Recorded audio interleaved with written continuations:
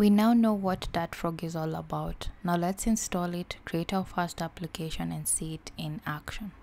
To do this, we'll visit this Dart Frog documentation or official site and it shows you how to install we'll need to make sure that we have the dart sdk if you have flutter sdk installed it's already included so you're good to go if not proceed to this link and install depending on your operating system to know the version um,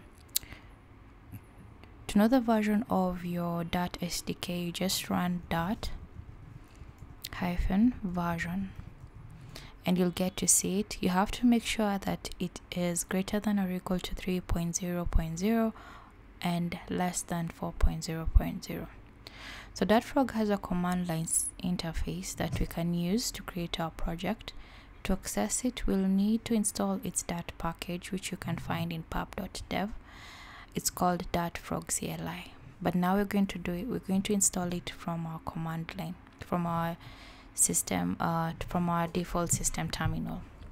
So to do this we'll first enter dart. This is a command line tool for running dart scripts and managing dart packages. Then we'll enter pub which is a package manager for dart it helps manage dependencies and packages in Dart projects then we'll add the flag global this flag specifies that you're performing a global operation it means that the package you're working with will be installed globally on your system rather than within a specific Dart project. Then we'll enter the subcommand activate, uh, which is used to activate our package.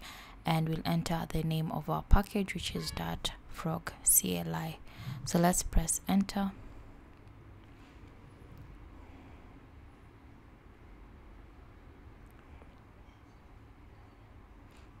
And with that, uh, will have installed Dartfrog itself. As you can see, Dartfrog will be installed and also the Dartfrog CLI will be activated. Great.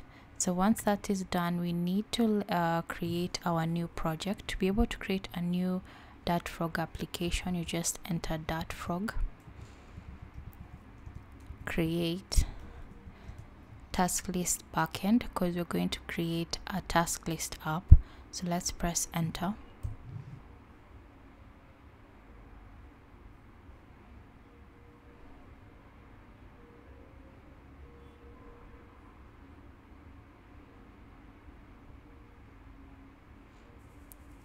And our application has been created. So let's navigate to our preferred IDE I'll be using the VS Code. So here's my application. So let's just have a quick walkthrough of the project structure.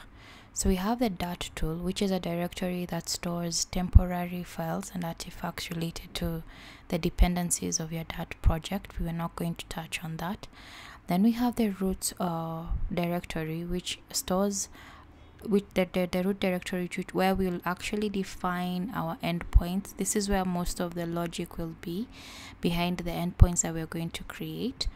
Then we have a test where one creates test cases for the application. Next we have the .git ignore the famous one which specifies files and directories that should not be that should be ignored and not tracked by git then we have the anal analysis options YAML which is where the analyzer package is configured and its role is to perform static analysis. What that basically means is a process of analyzing your code for potential issues errors and inconsistencies without actually executing the code. Then we have the pubspec.lock which locks down the versions of the packages your project depends on. And then we have the pubspec.yaml which um, provides crucial information about the project the pack uh, about including the packages it depends on the name the description and the version. And lastly we have the readme.md which provides allows you to provide documentation about your project using the markdown language. Now that we have the new project uh, ready and we have gone through it we can go to the terminal and we're going to um, start the dev server so that we can see how it works. So to start the dev server we just need to write enter uh, let's navigate to our application task list. And then we're just going to enter the command dart frog dev. So this will start our dev server locally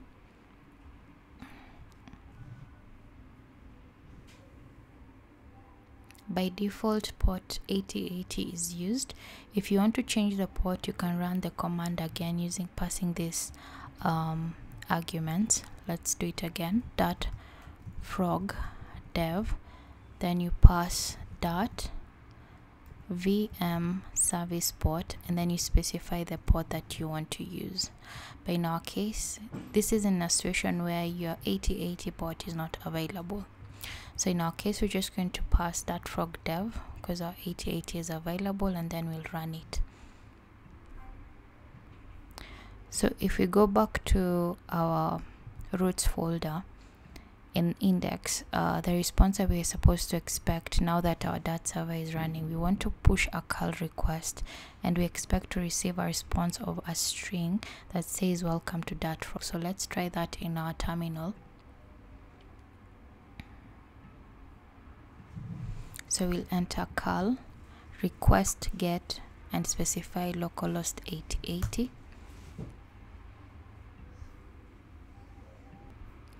and it will return for us the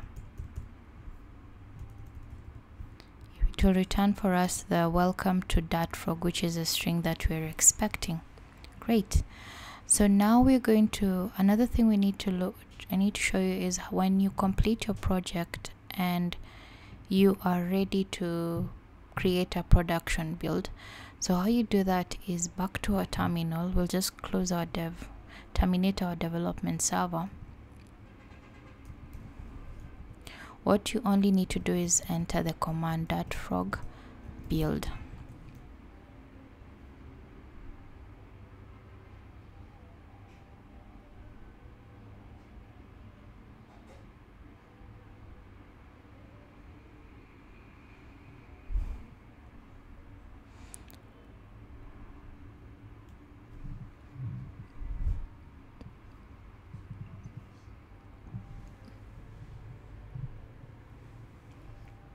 This will create a production build and you'll find it in this build folder that has been created and inside it, it will generate a Docker file.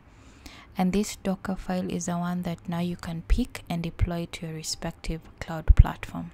So a quick one, uh, when we created, when we generated, we ran the command that uh, runs the development server. It's okay, it has actually disappeared. So there's a folder a directory called Dart Frog that's usually created. Let's try that again. So Dart Frog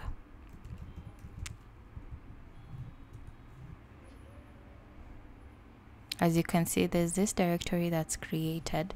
This directory just stores an auto-generated file called the server.dart that contains generated code based on the code that we'll write ourselves inside the routes folder.